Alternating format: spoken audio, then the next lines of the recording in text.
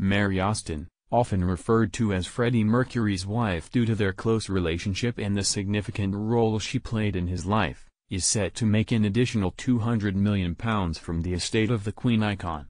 Freddie Mercury, the legendary lead singer of Queen, had a deep and enduring bond with Mary Austin, whom he met in the early 1970s.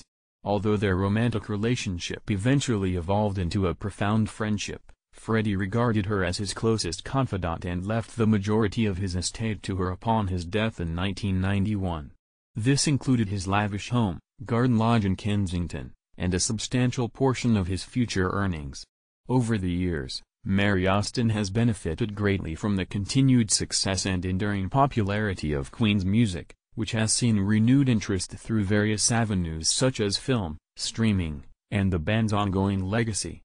The £200 million she is set to receive as part of the royalties and earnings that continue to flow from Freddie Mercury's contributions to Queen, as the band's music remains a significant source of income decades after Mercury's passing.